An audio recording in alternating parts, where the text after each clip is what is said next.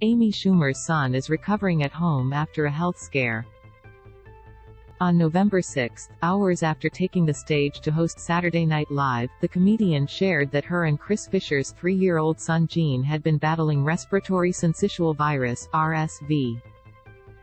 This was the hardest week of my life, Amy wrote on Instagram. I missed Thursday rehearsals when my son was rushed to ER and admitted for RSV. Shout out to all the parents going through this right now, Amy, who gave birth to Gene in May 2019, continued. I got to be with him the whole day at the hospital and the beautiful humans at, at NBC SNL couldn't have been more supportive. Gene was discharged from the hospital and is feeling better, according to the Inside Amy Schumer star, who went on to further acknowledge the SNL team who had her back throughout the week. The reason this show is so fun to do isn't actually the performance or the show itself, she noted. It's getting to spend time with the people there. The cast and the writers of course but the people who are behind the scenes making it run smooth are my favorite. Lorne Michaels, has assembled the most talented people with the kindest hearts, Amy, 41, added. Thank you everyone there and to the doctors and nurses who helped us.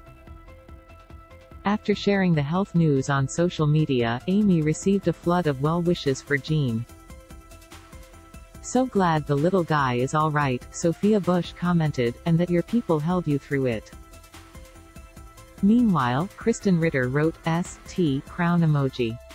Hope little man is back to rip roaring ASAP. Sending you guys love.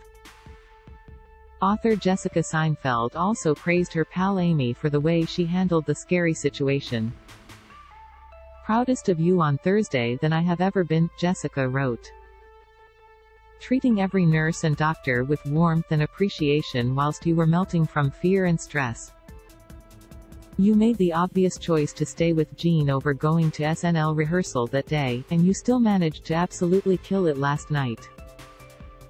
Blown away by you, per usual. E! and NBC are both part of the NBC Universal family. Closing parenthesis.